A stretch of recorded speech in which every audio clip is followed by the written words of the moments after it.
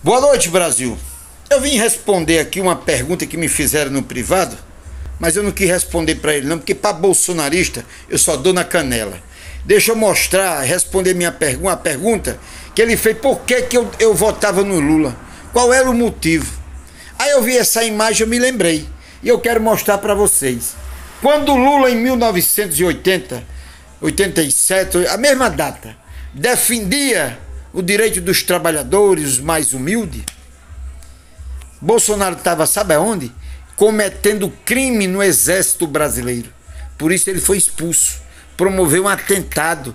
Porque Bolsonaro, eu já disse, Bolsonaro só tem coisa de bandido. Então veja bem, eu defendo Lula porque Lula construiu uma história nesse país. Sabe, Lula Lula fez o país ser a sexta maior economia do mundo. Sabe? Por que, que promoveram o golpe contra Lula? Porque Lula foi eleito no primeira, primeira vez, foi eleito a segunda vez, saiu com 89% de aprovação do povo brasileiro. E em seguida ele elegeu Dilma Rousseff no primeiro mandato, elegeu no segundo. Aí você sabe o que foi que a elite fez? Disse: não a gente não aguenta mais o PT, não. Não aguenta mais Lula, não. Ninguém aguenta. A elite não aguentava mais chegar nos aeroportos e ver uma empregada doméstica, um trabalhador pegando um avião. Ele não conseguia chegar na escola de rico.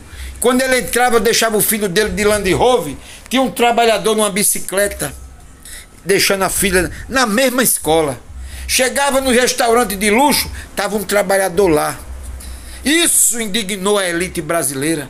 A burguesia, como dizia Cazuza, fede. Por isso que eu voto no Lula. E ele vai voltar em 2000, agora em 2022. Morra quem quiser. Faça o que quiserem. Pode dar PIS-PASEP, pode dar auxílio emergencial, pode dar Bolsa Família, tudo enganação para o povo brasileiro. É Lula 2022 no primeiro turno. Lula vai sim voltar, porque o, o brasileiro não aguenta mais o governo Jair Messias Bolsonaro. Porque ele é vagabundo, é um governo de coisa de. só tem coisa de bandidagem. E brasileiro, trabalhador, nas mãos de Bolsonaro, está ferrado.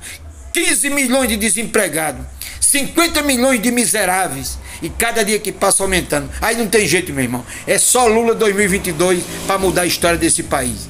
Tamo junto.